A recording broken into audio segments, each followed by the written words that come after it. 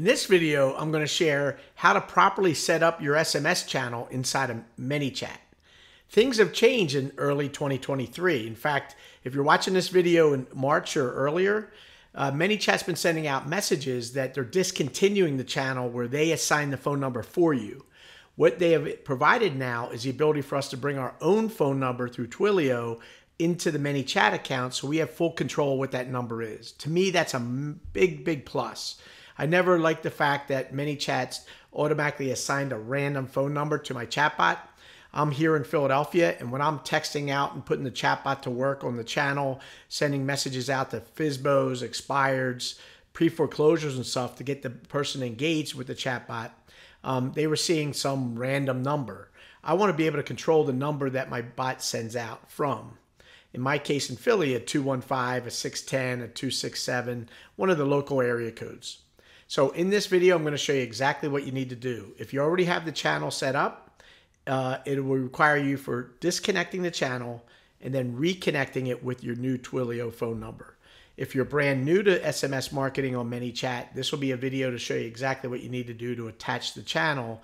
And I'm going to have other videos coming up shortly here on my channel. So if you haven't subscribed to the channel uh, to the channel here, I greatly appreciate it and smash that uh, bell so you get notified I'm going to be showing some SMS marketing strategies to get those FSBOs and expireds into your system so that you can turn these into active deals and active paychecks in your bank account. Let's dive into ManyChat and let me show you how easy it is to set up this new channel.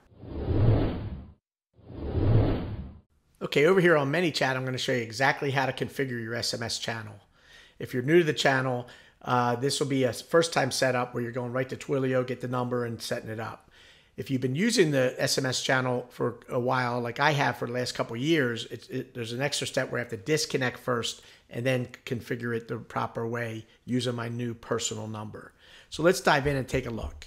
So in ManyChat, you come down here to settings to access the details of the channels. So in ManyChat down here, they have uh, six different channels we could do chatbot marketing on.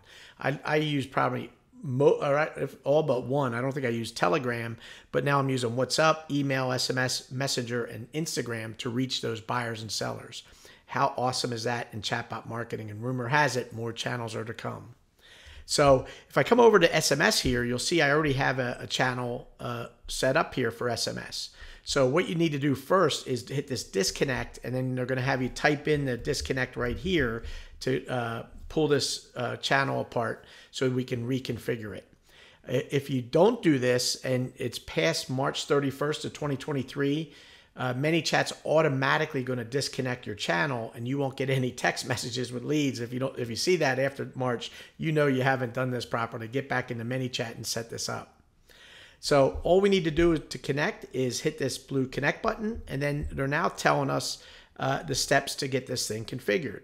Uh, the first stat I'd like to show you is 85% of uh, customers prefer uh, receiving a text message over calls and emails. So you definitely want to take advantage of this channel. Uh, the steps are very easy. We're going to sign up for Twilio. We're going to obtain a phone number. So you may already have a phone number on Twilio or you're going to get a number. I'll show you how to do that.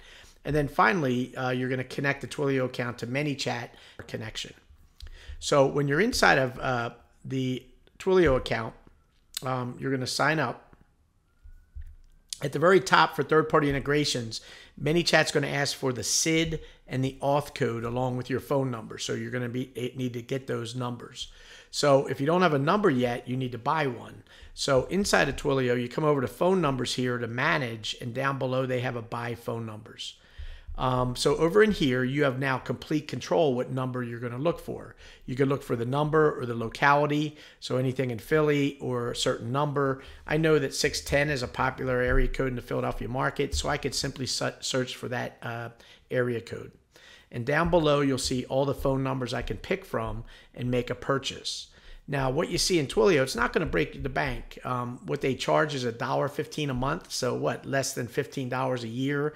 You're going to have a private uh, phone number that's localized so that your chatbot can talk to these home homeowners and buyers and renters and agents um, in the local market. So it's well worth the investment with Twilio.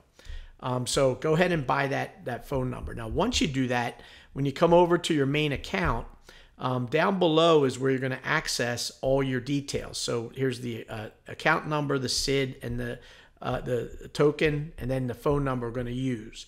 So the first thing I'm going to do is I'm going to copy that SID. Um, so when I come over here to ManyChat and I say connect, the window pops up. It's asking for the Twilio SID uh, number. So I'll go ahead and paste it right here and go down to the token. I need to go back to Twilio and I'm going to copy the token and I'm going to come back to ManyChat and I'm going to paste that right in here.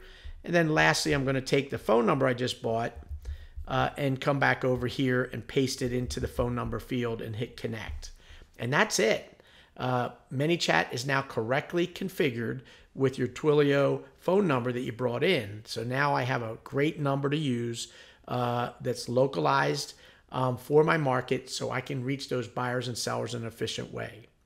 I am going to point out one other thing in this video that's very, very critical. At the turn of the uh, new year in 2023, the regulations across the country have changed so that you must register your bill, your business and your phone number to be properly sending texts out to consumers.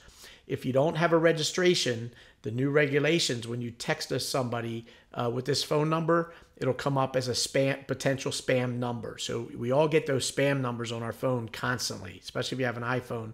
It'll always show you those sp potential spams. If you register your business on Twilio and the number, then when it goes to ring, it'll show your business name is calling, not a spammy number. Uh, so it's more likely that they're going to answer the text or the phone number uh, when you're uh, making those uh, calls uh, from this number. So go ahead and get your Twilio uh, business uh, certified. It's there's steps when you go into Twilio at the top of the page. They give you step-by-step instructions on how to register your biz- business and get that to be an official texting system with this phone number. I hope you enjoy this and. If you haven't already, consider uh, subscribing to the channel and smash that bell. I have some incredible strategies with SMS coming out uh, where I'm, I'm building an SMS chatbot. I'm going to show you how the chatbot can interact across the SMS channel. And I use this to reach out to FSBOs and expireds and other distressed sellers to see if they want a cash offer. So uh, uh, uh you want to not miss that video if you're a realtor out there to close some uh, serious deals uh, in 2023 and beyond. So I hope you enjoy this. I always appreciate everybody here, and we'll see you on the next video.